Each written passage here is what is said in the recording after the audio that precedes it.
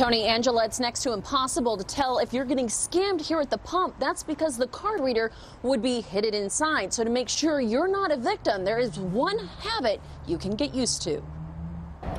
It's not a question of, you know, if it's going to happen to you, it's a question of when it's going to happen to you.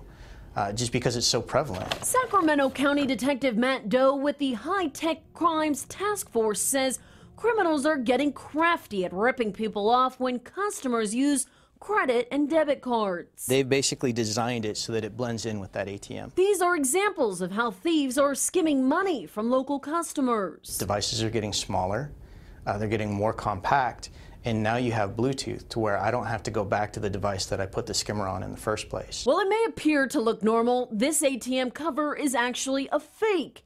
And hidden camera could be capturing your digits. It'll get the card number along with your PIN information. So they'll have everything they need to recreate your ATM card. So the next time you go to an ATM, detectives say if it looks suspicious, give it a tug. If it comes off, it's fake. They just use double-sided tape and it just sticks out right over the top. And the crooks are getting away with big bucks. Depending on the locations that they can hit, you can get 20 to 60,000 for a weekend. In some cases, he says organized criminals are coming from out of the country and hitting city after city. When you have that many jurisdictions involved, it makes any kind of communication between law enforcement that much harder. Which is why Detective Doe is hoping for the public's help to spot these high-tech tools used to commit the crimes.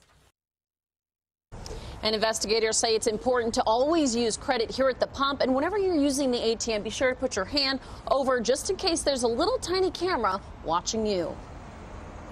Jen, thanks.